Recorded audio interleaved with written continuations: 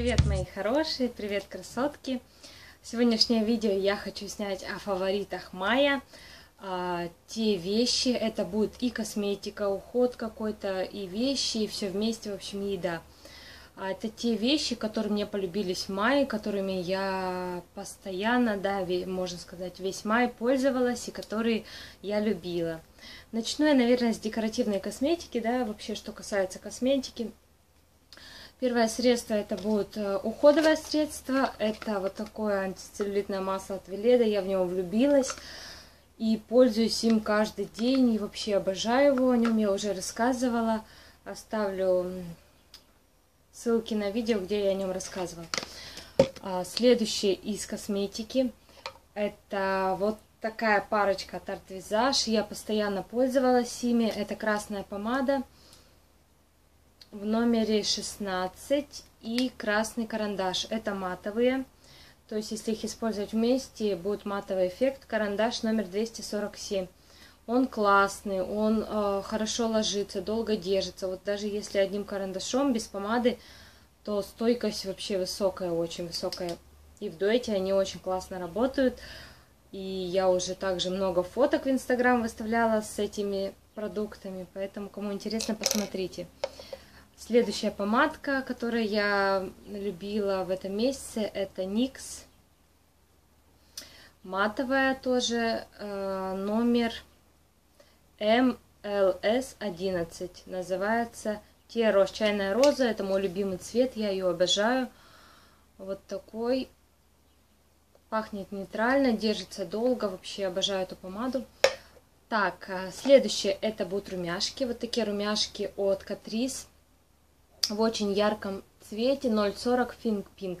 На самом деле, если как бы их на один, на два слоя наносить, то они не будут сильно яркие, хотя очень пигментированные, очень классные румяшки. Вот у меня уж тут надпись даже стерлась, потому что постоянно ими пользовалась практически весь май.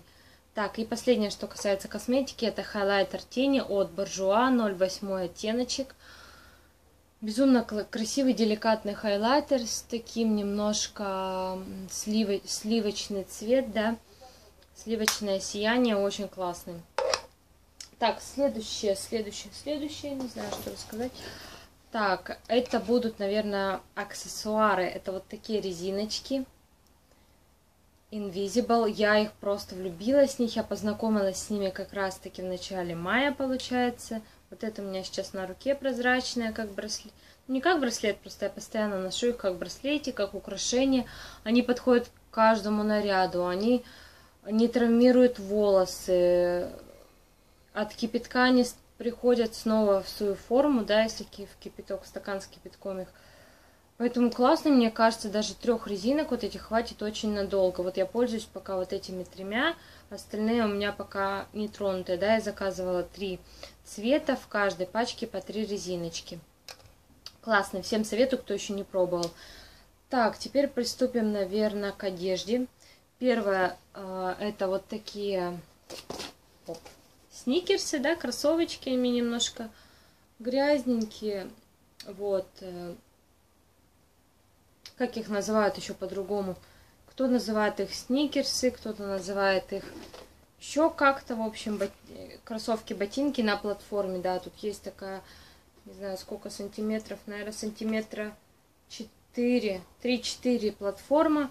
Я таскала их весь май, заказывала я их в каком-то инста-магазине, уже не помню сейчас. В общем, классные, да, боти... Э, классные кроссы, около полутора тысяч стоили, по-моему.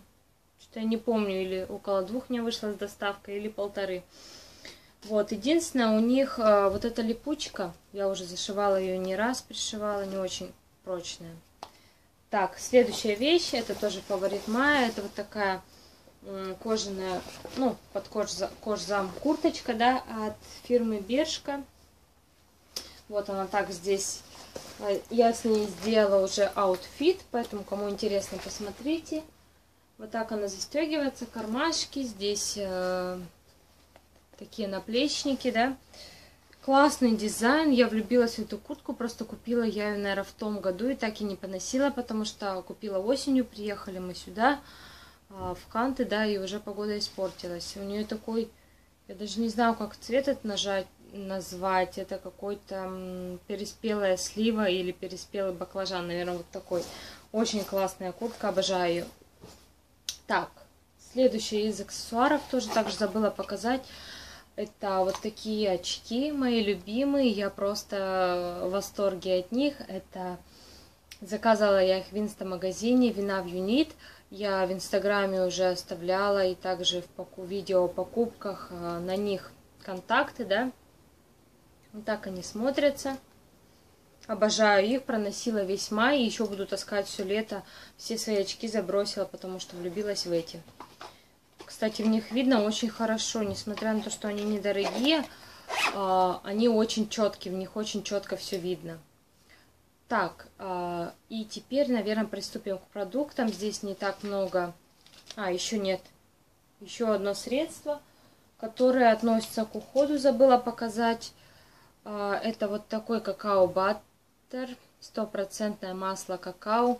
О нем я тоже писала уже в отзыве в Инстаграм, потому что я влюбилась в него. У него вот так он выдвигается, имеет такую э, твердую субстанцию, да. Запах шоколада обалденный, я просто кайфую от него. Это мой фаворит, фаворит всех времен. Здесь 28 грамм, заказывала я ее на сайте iHerb, фирма Coco Care.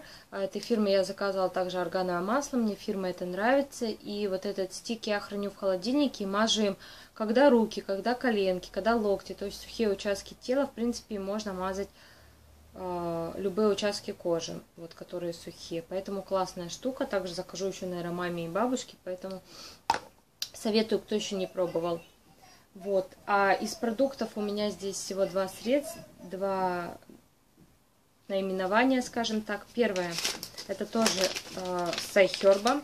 Это вот такая шоколадка. Это горький темный шоколад. Э, фирма, фирма, фирма, не знаю. Шоколад. 77%. Вот, 77% шоколада здесь, какао. Очень классная, 100 грамм.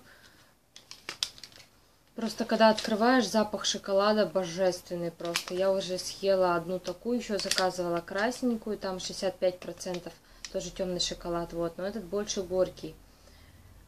Классная вообще шоколадка, мне очень нравится. Это, кстати, она не в Америке произведена, а в Бельгии. Бельгийский шоколад самый лучший, не зря, поэтому очень вкусный шоколад, конечно, он не дешевый, но для настоящего шоколада я думаю, что это нормальная цена. И последний фаворит, а, фаворит мая, да, наверное, с этим продуктом я тоже познакомилась в мае, наверное, может, конец апреля, начало мая. Вот, это паста песто с базиликом у меня от фирмы Dalmi. Я пробовала только этой фирмы, и мне она устраивает. Здесь 180 грамм, очень классная паста. Выглядит она вот так, зеленая. А, тут состав тоже хороший состав.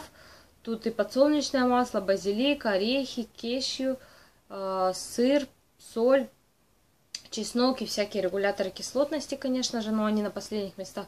Классная штука, я ее добавляю в пасту, делаю с ней пасту, э, мажу, например, какие-то бутерброды с авокадо или просто с сыром сверху. То есть она подходит для всего. Мы и в мясо ее добавляли, в маринад. В общем, очень классная штука. Кто еще не пробовал, советую, потому что я вообще терпеть не могу базилик, поэтому я не хотела ее пробовать, но все-таки мне девочки посоветовали, сказали, попробуйте, тебе понравится. Я попробовала, и действительно, базилик здесь особо не чувствуется. А, даже такой какой-то, может быть, э, базилик в приправе немного отличается, потому что от натурального, да, свежего базилика, поэтому он не сильно чувствуется поэтому мне она понравилась. Вот такие, девчонки, были мои фавориты мая. Если вам понравилось данное видео, поддержите меня пальчиком вверх.